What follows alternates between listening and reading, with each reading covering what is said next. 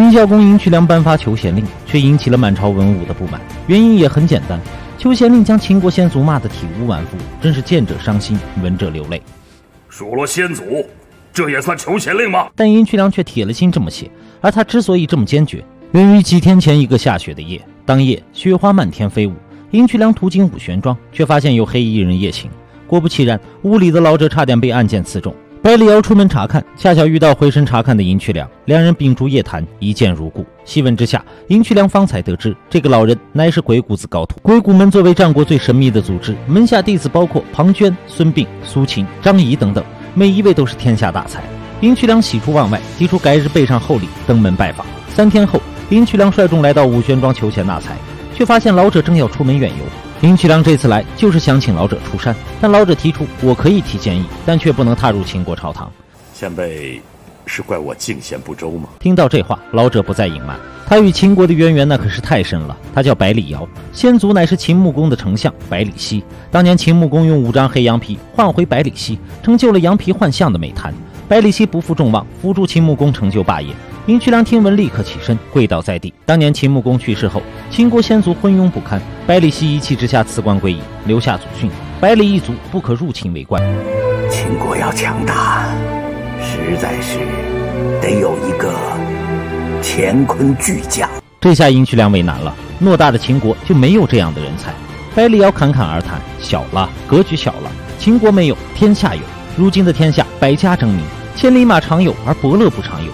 当年他的先祖百里奚是楚国的奴隶，肱骨之臣千叔是宋国人，财政一把手公孙支是燕国人，大谋士游鱼是西戎人，大将皮豹是晋国人。小小的秦国犹如联合国开会，哪有不强大的道理？甚至当时的大才孔丘也赞叹不已，竭力鼓动秦穆公称王。赢渠梁要颁布求贤令，他让甘龙书写，不料甘龙写出的东西总结起来就一个意思：我秦国招人是给你们赏口饭吃，不要不识抬举。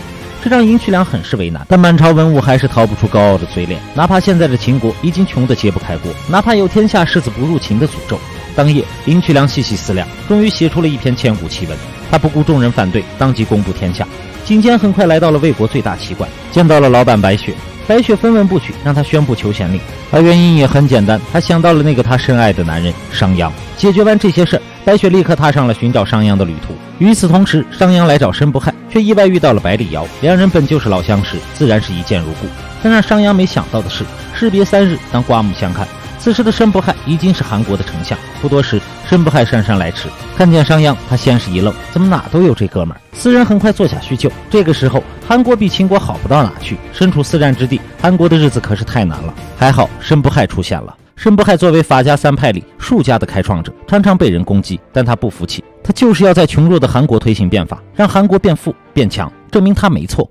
术只可收一时功效，不能永续固法。申不害还是不服气，他要和商鞅的法派一较高下。那么问题来了，究竟以什么为标准呢？申不害的变法很快取得了成效，各行各业减免赋税，酒店老板甚至推出活动，白吃白喝三天。可商鞅三人进来后，却发现一个人都没有。众人细问之下得知，当年他们店被韩国贵族白吃怕了。现在申丞相大杀老贵胄，以雷霆手段推行变法。